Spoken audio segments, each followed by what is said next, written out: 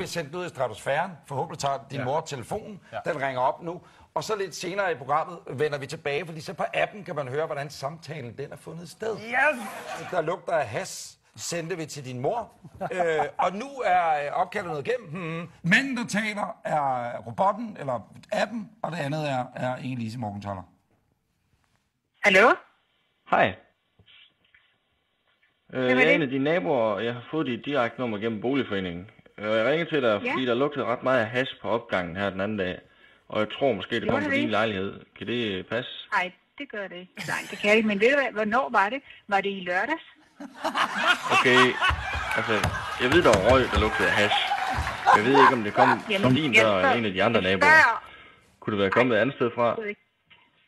Jamen, det jeg tænker på, var det i lørdags? Der har vi bare været knokleskæve. Fordi jeg havde en Altså, mærkelig undskyld forstyrrelsen. Du skal selvfølgelig have lov til at gøre, hvad du vil i dit eget hjem. Jeg Men jeg hører synes, lige her. at du Hvis burde du vide, at hele opgangen, den stinker af hash. Og at det måske irriterer de andre Er naboer. nabo, så så kan du skal ikke godt ryge ud af vinduet, eller putte et håndklæde ned til døren, så røgen ikke slipper ud. Øh, altså, jeg har ikke løsningen, jeg brainstormer bare. Go, Jeg synes simpelthen, de er ikke ordentligt. Og så-